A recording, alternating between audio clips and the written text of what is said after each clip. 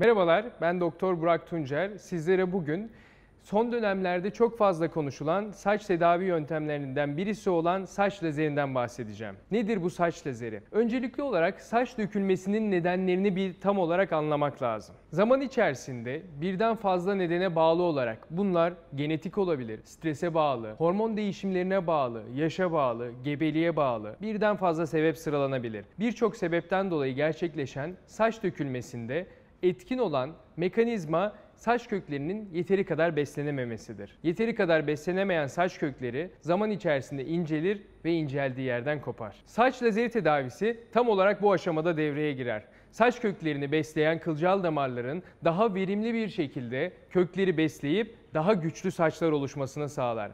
Hem yeteri kadar beslenemediği için incelmiş, bebeksi hale gelmiş tüyleri kalınlaştırır hem de yeteri kadar beslenemediği için deri altında kalan, yüzeye çıkamayan saç köklerini besler ve yüzeye çıkmasını sağlar. Saç lazeri tedavisini saç ekim operasyonundan önce veya saç ekimi operasyonuna gerek kalmaması için de uygulayabiliriz. Hatta saç ekimi operasyonu yaptırmış kişilerin ekimden bir ay sonra saç lazerine başladığında çok daha hızlı bir şekilde sonucu aldığını görmekteyiz. Saç ekimi ve saç tedavileri toplumumuzda özellikle erkeklerin ihtiyacı gibi algılansa da kadınlarda da kadın tipi saç dökülmesinde, menopozda, veya gebelik döneminde strese bağlı saç dökülmesinde de saç tedavileri, saç lazeri aktif bir şekilde kullanılmakta. Saç lazeri tedavisi 3 ay ile 6 ay arasında sürmektedir. Saç lazeri tedavisinde cerrahi bir süreç gerçekleşmediği için ağrısız, keyifli, konforlu geçen bir tedavi sürecidir. Kadınlarda ve erkeklerde günde 100 telin üzerinde dökülen saçları